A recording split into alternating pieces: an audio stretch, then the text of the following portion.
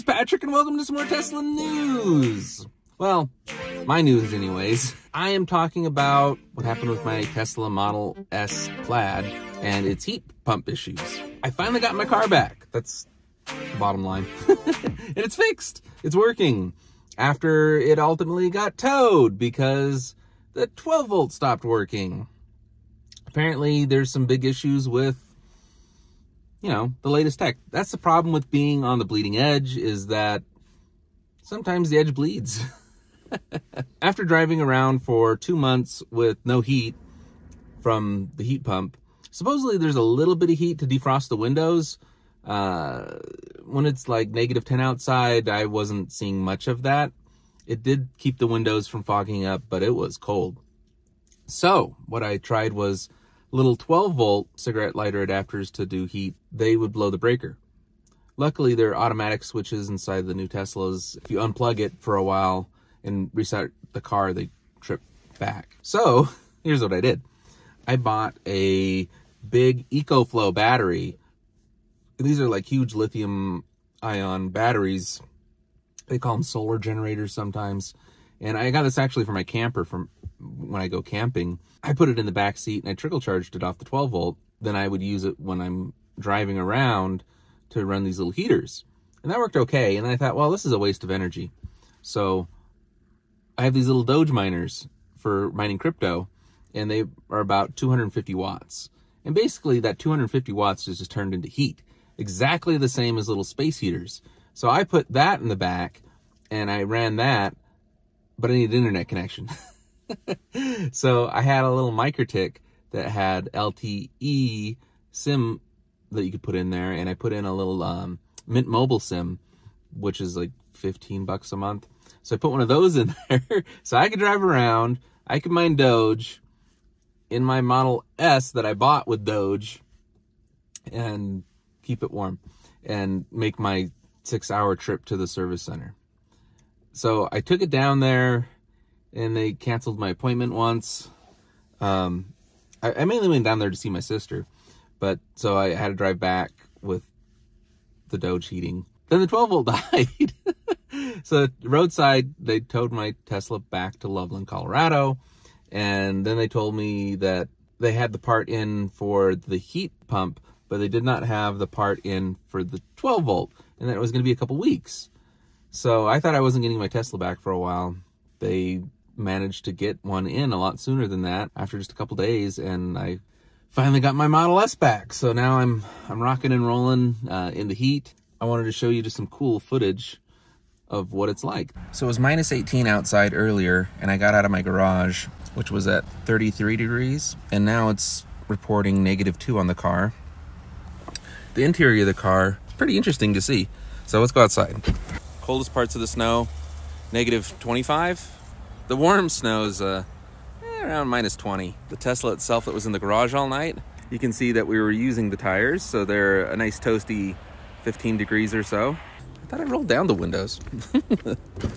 so we're gonna see what the heat pump can do and how quickly it can warm up this car. The idea is from a minus zero temperature Fahrenheit, what are we looking at to warm up the car? It's interesting to see how the heat kind of leaks out the sides of the doors. You can see the inside of the interior of the car here. Still pretty toasty.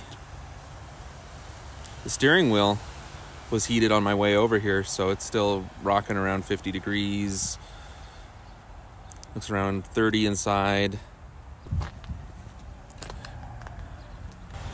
It's interesting how long it's taken the tires to cool down. We're getting below zero on the ground where the battery's at. Some of the seats starting to hit around zero.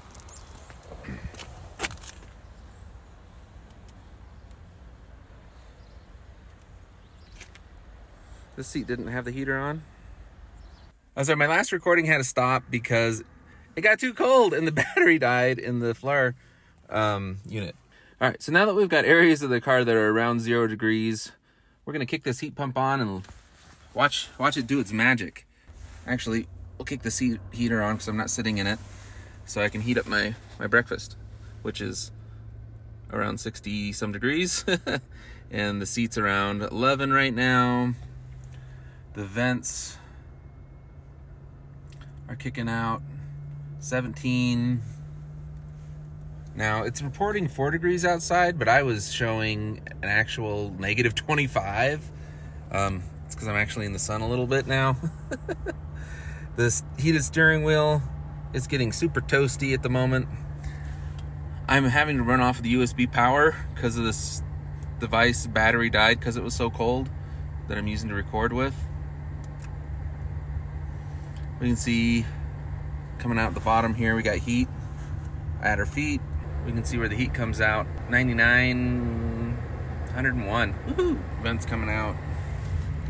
Our seat, you can now see heating up.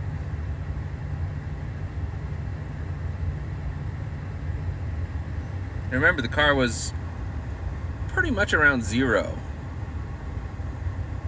on the interior.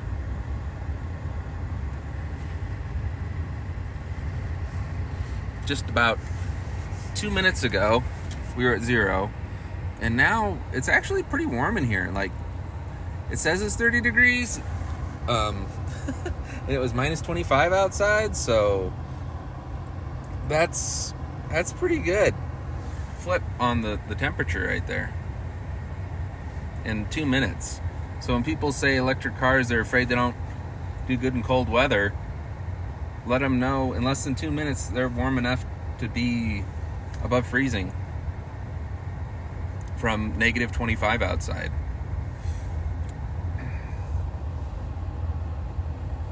And this is the heat pump. And it's working. Yay!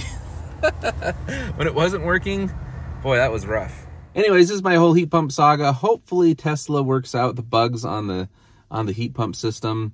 I know they were sending um, some software updates to fix the Y. If they can figure out the issues on the Model S, that'd be great. Mine works now, so I'm pretty happy. Hopefully nobody else with early Model S plaids has the same issues. Thank you guys so much for watching. If you guys have any comments or questions, please post them below. Don't forget to hit the like button, uh, subscribe if you haven't, and you can follow me on Twitter. I'm at Walking Crow. We'll see you guys next time with um, some Tesla news that's not just mine. Thanks. Bye. This has been a Two Smart Guys production.